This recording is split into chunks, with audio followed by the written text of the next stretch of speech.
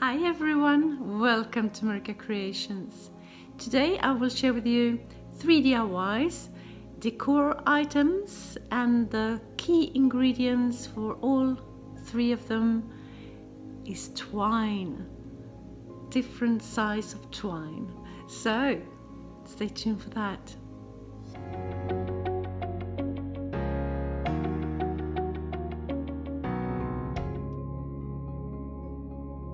For my first DIY, I will use this glass jar and twine.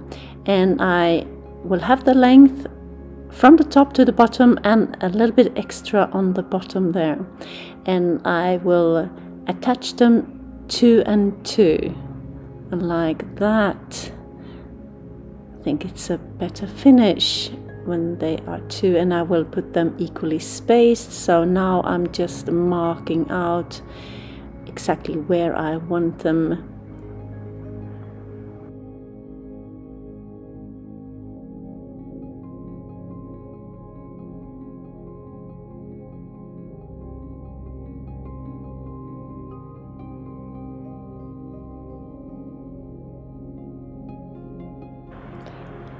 and now time to attach them two and two. And I start at the bottom uh, with a little bit of extra and just put a dot of hot glue just on the bottom of the jar. And then make sure that they are straight and a bit of hot glue at the top. And then just press them into place. It looks like that. And I do that all the way around where my markings are.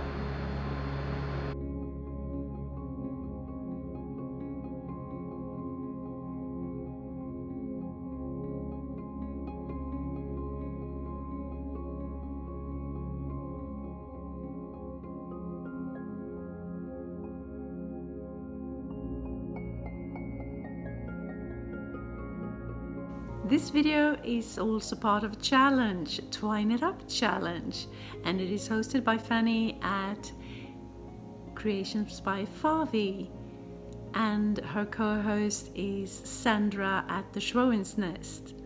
And if you're not familiar with these ladies and their channels, be sure to jump on over right after this video and check out what they have to offer.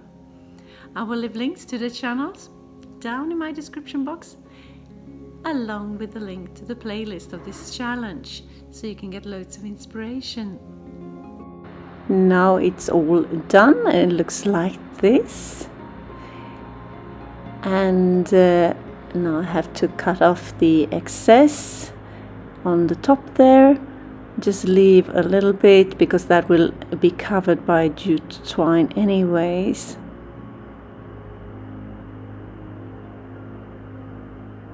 then I start on the bottom and I will crisscross them a little bit put uh, some hot glue into place and just uh, make a nice finish. And uh, when I'm done I will just cut off the excess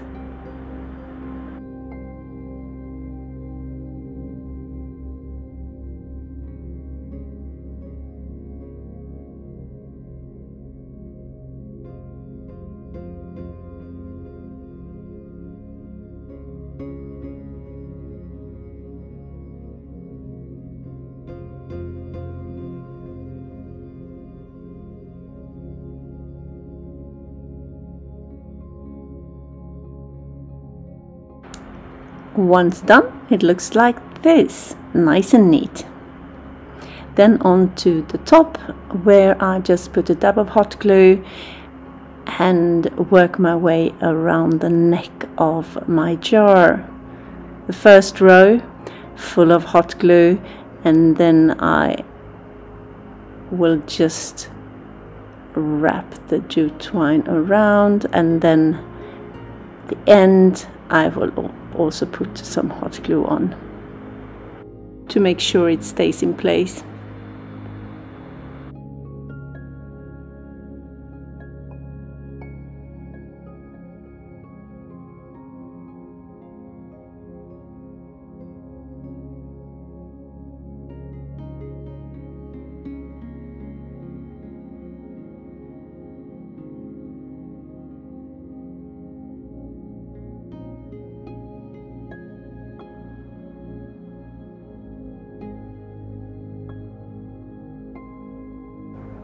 Now the jar is almost done and it looks like this.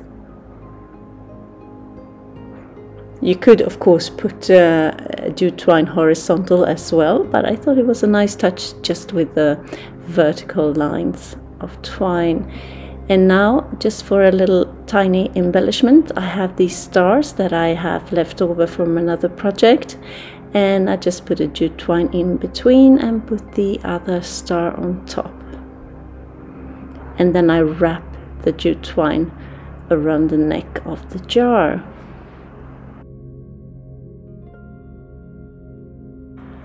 And here is the final piece looking super good I think I like the twine and the glass together and just a couple of uh, tall grasses in the jar.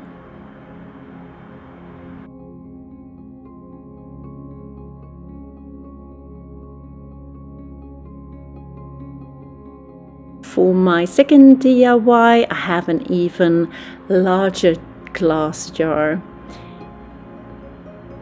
and I have also some letters which spells out home. So this will be uh, kind of a different home sign. I start with the letters or some of the letters the H and the O and I will wrap some jute twine around that letter very loosely and not to cover the whole piece and I was out of jute twine. So this uh, this is jute twine, but it is, is with a metal wire in it, and I didn't like that super much. It was okay, but um, I would have preferred just a simple jute twine in this particular project. So at the, the start and the end, I will just put a dab of hot glue to keep it in place.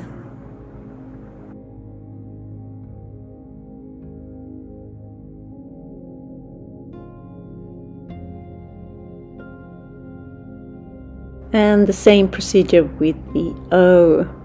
Just wrap it loosely around the whole letter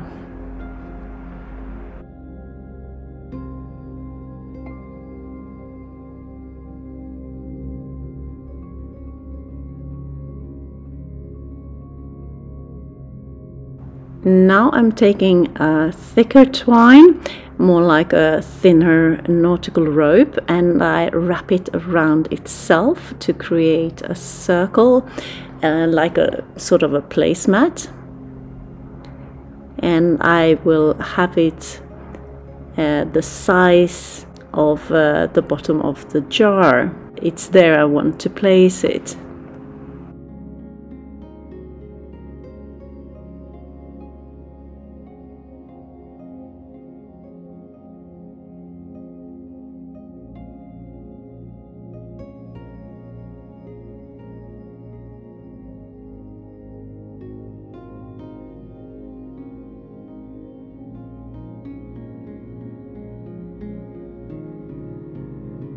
and that's a perfect fit for the jar.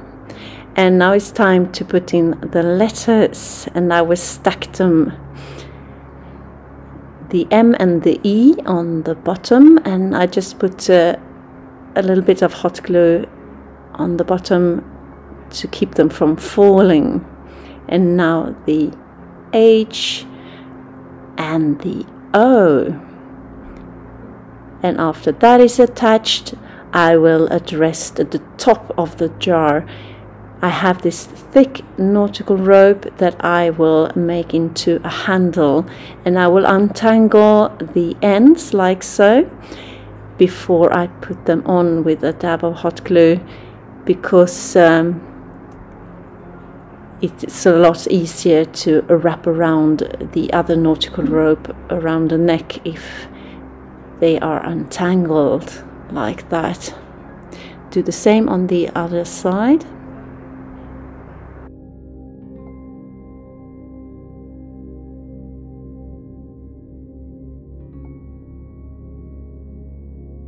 And then I take the thin nautical rope the same as I had with the mat on the bottom of the jar and I attach that with some hot glue and wrap it around the neck of uh, my jar.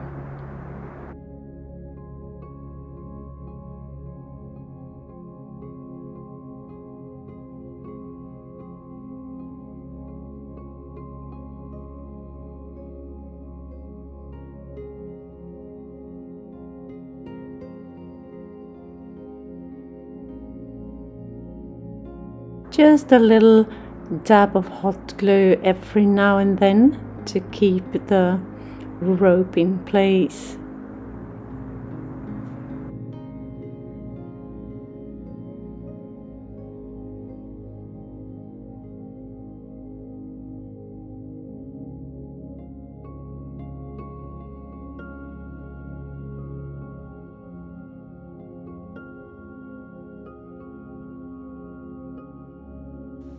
If you're new to my channel, hi, I am Marika and on this channel I do lots of DIYs, thrifting, decorating, renovation on my home, some pottery, some painting, anything creative really. Please join me, hit that subscribe button and the notification bell and let's be friends. And here it is, my home jar looking cute in my staircase at the moment. Very rustic, a very me. Could have it in a rustic home, in coastal decor, farmhouse for sure. I like it. Tell me what you think.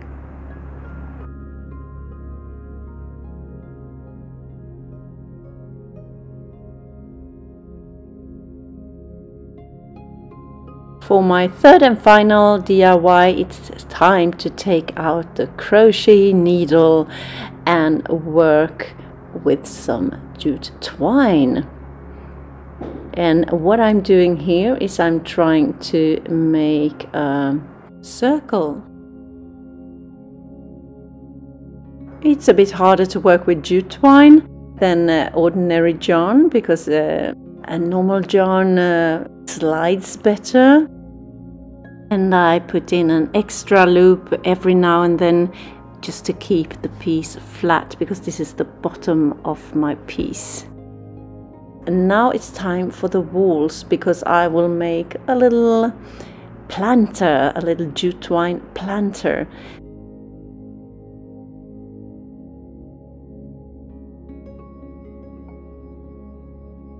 I'm sorry I'm out of frame a little bit but I think it's better anyway that you see what I'm doing instead of me trying to explain. That would just be more confusing for you. Now you can see that I start to get some walls there and I'm just working my way up to the height that I want for my little planter. It doesn't have to be a planter though, it could be just a little jute twine jar of some sort. You can put anything in it. I almost have the height that I want and now I take just uh, some single loops, uh, 10 of them I think it was, and I will make a handle and I will attach those just five loops ahead and then work my way to the other side and do the same thing there.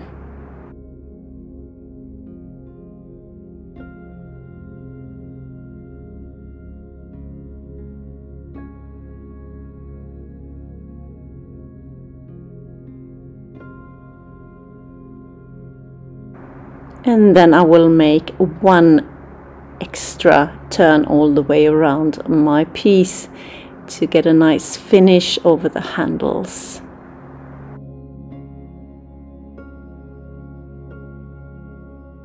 And as a final touch, I will just wrap some jute twine around my fingers, attach it with another piece of jute twine, and uh, make a jute twine tassel.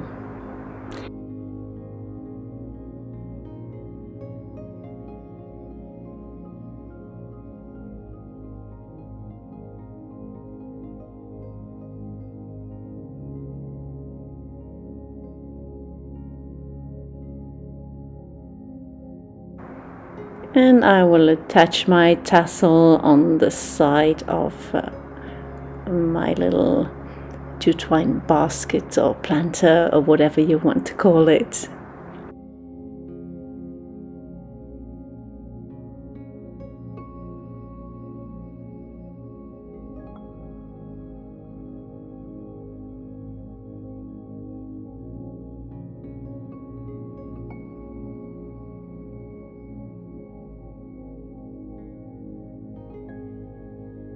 This is how it turned out. I will show you how I styled it.